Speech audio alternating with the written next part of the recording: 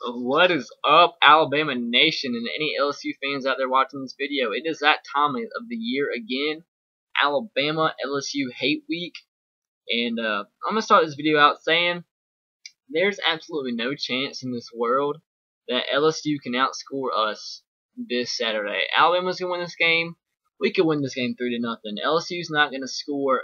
If they score, it's gonna be either a field goal, it's gonna be a special teams return or it's going to be somewhat of a defense return uh, for a touchdown. There's no way that LSU offense is going to score one touchdown against our defense. There's no way in this world. Zach Mettenberger is probably the worst quarterback in the SEC. Um, it's definitely been proven over the last few weeks. AJ McCarron, or the whole year, and the national championship game is AJ McCarron is not afraid to attack the LSU secondary.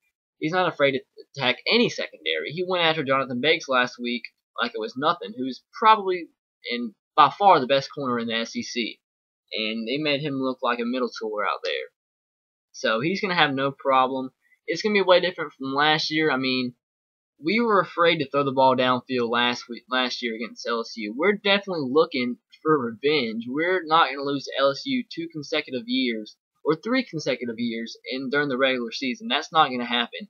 The streak is going to be ended this year. Uh, we're not gonna lose to LSU again in the regular season. They're not gonna they're not gonna come anywhere near stopping us from going to another national championship. There's no way. Uh, let me look at LSU stats. Their defense, yes, LSU's defense is quite well. They're a good defense, but the LSU has nowhere near enough a complete team to beat us. They just about every win they've had, aside from the first three weeks, have been close. I mean, they beat Auburn, who is the worst team in the SEC aside from Kentucky, by two points.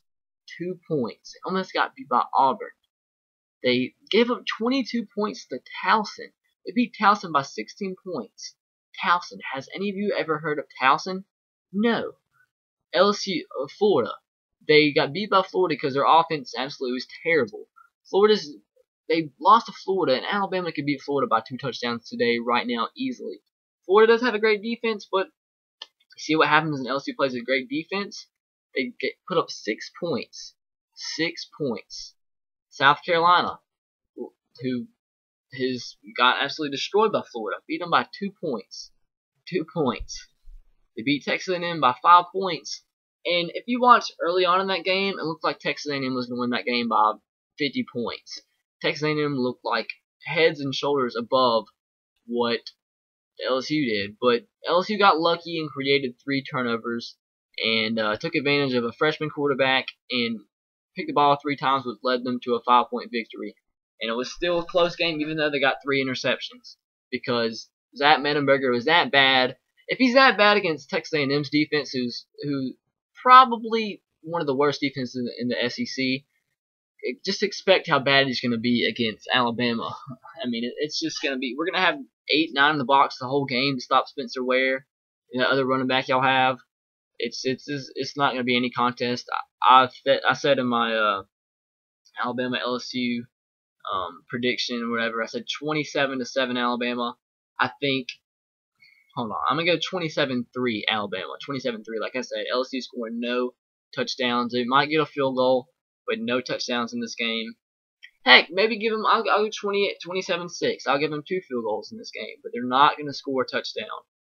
It, it ain't going to happen. Um,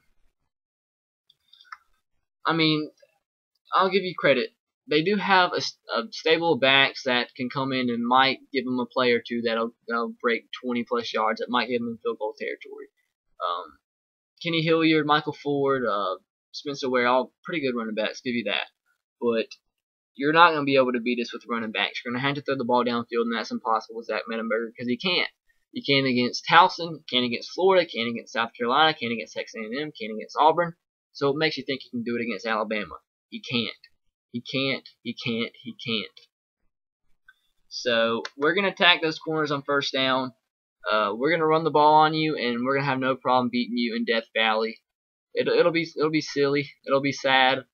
Um, everybody in LSU world is going to be hanging their heads because they're not going to beat Alabama for the third straight time in the regular season. It's going to be It's going to be a beatdown in Death Valley, and Alabama's going to win this game 27 to six. And uh, there's nothing else to say. Um, T.J. Yeldon will break 100 yards in this game. A.J. McCarron won't throw an interception. He'll throw for two touchdowns. He'll throw for two, over 200 yards.